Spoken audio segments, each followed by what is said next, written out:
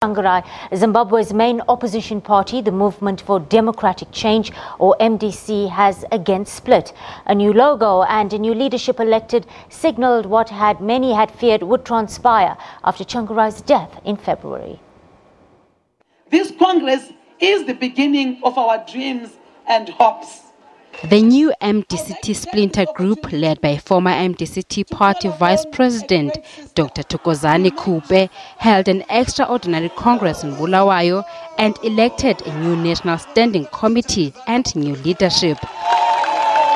The faction referred to itself as a genuine MDCT and accused the Nelson Chamisa led faction of hijacking the leadership and diverting to the founding principles of the organization.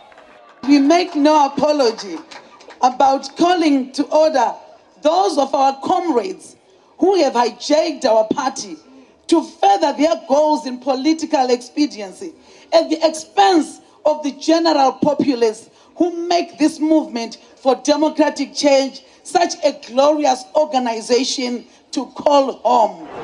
Khupe accused the Chamisa faction of failing to live by the rule of law. Respect for constitutions does not just start at government level, but within the political system. Clarity begins at home. MDC was founded on constitutionalism and the rule of law.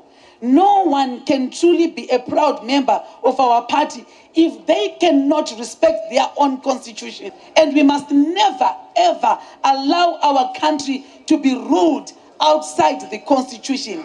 The former spokesperson and now elected new deputy president of the faction, Obert Gutu, weighed in and called for party organs to remain independent.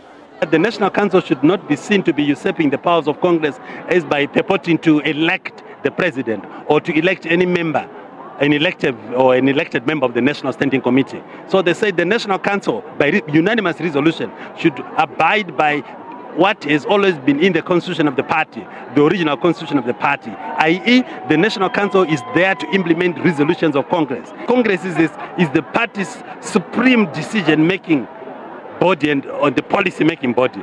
But what has been happening of late was that the National Council was almost becoming the Congress to such an extent that Congress was becoming irrelevant.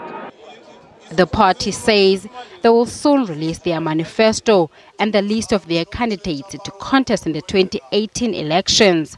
Meanwhile, the ruling ZANU PF will hold their primary election next Sunday with more than 1,302 candidates set to battle the 210 National Assembly seats.